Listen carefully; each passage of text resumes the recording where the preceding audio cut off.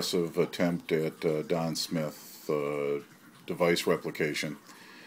Uh, picked up a few components, made a few components, uh, still really do not have any success.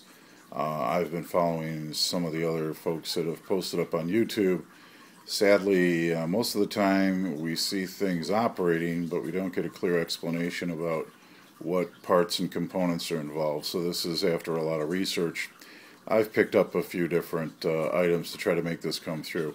First, uh, and I'm going to run through them a little bit uh, at a time here. The very first is that I picked up this uh, Varactor. This is just running off of uh, AC current from the wall, 110 volts. It uh, will modify that current and then send it into the neon transformer. Now, this, this neon transformer, tube transformer, or NST as it's described, is rated at uh, 15,000 volts, 60 hertz. Now, in most of Don's uh, videos, he doesn't really have a varactor here. He has a DC converter, which basically takes a 12 volt battery charge, steps it up to the 110 AC, and then feeds it into a smaller uh, neon supply uh, transformer, NST. Now, from that, I've also um, purchased some um, microwave capacitors. Um, these are from Radio Shack. They are N uh, 1007 uh, blocking diodes. Um, so far, this is somewhat unsuccessful for me, also.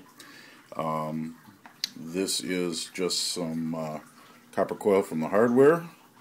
This is the infamous uh, Don uh, speaker wire. It's multi-strand copper wire. We have a center tap. These are some capacitors I purchased but haven't put to use yet.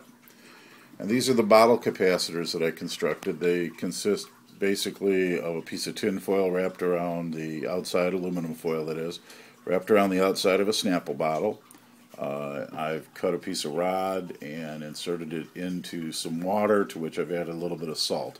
One wire uh, is connected to the aluminum foil which is here covered up with duct tape for safety's sake and uh, the two capacitors are tied together. One for whatever reason has a slightly more discolored water than the other one. Um, I've been meaning to play with these a little bit more but uh, it was suggested in many of the videos, so I built a couple out of some Snapple bottles because, frankly, I like Snapple. Uh, okay, so from there, uh, this coil is my L1 coil. Um, if I'm not mistaken, this is uh, 16 gauge wire. Okay.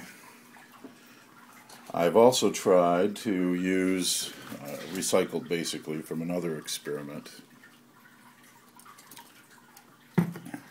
This is 22 gauge magnet wire. I actually had a little better results with this as far as voltage goes, but uh, again, nothing of any significance.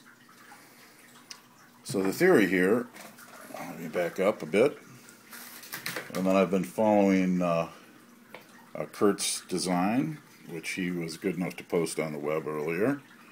Um, you can see that he has the uh, neon supply transformer going to some diodes with some uh, uh, basic spark gaps in there, which is what we've attempted to construct here. However, the minute I hook both of these diodes into the same power supply, which then heads up and around to the uh, base of the capacitor, which I, I, think we can't see it here, but perhaps we can from a different angle. Yeah, there we go. Um, which then follows to the base of both of these capacitors. And of course it comes around out the capacitor uh, from one to the other and then the other wire follows along down, down, down, down, down, down, down and comes to here and goes to the other part of the L1 coil. The wires are just kind of dangling off here but that's where they're heading to. Okay, They're heading over here. Now, um, we should have power basically coming then from um, both, uh, although it's only going to one, it's basically coming from one, coming out from the other.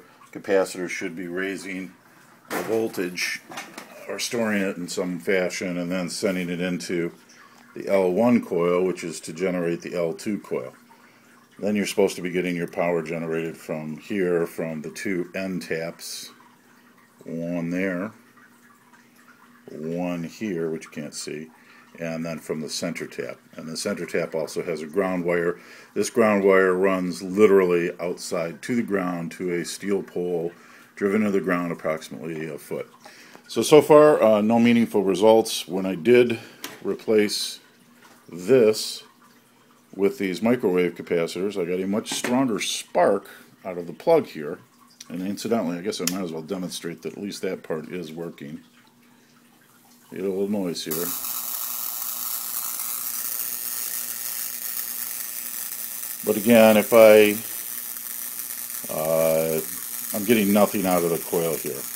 So if anyone can help me and assist me with any suggestions as to how to advance this uh, particular project, it would be most appreciated.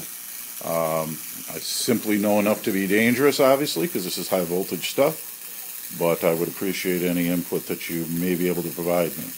And I'd like to give a big thanks to Kurt because he's been very helpful so far in sharing information with me. So thanks very much, and I hope everyone enjoys their afternoon. Go Lions.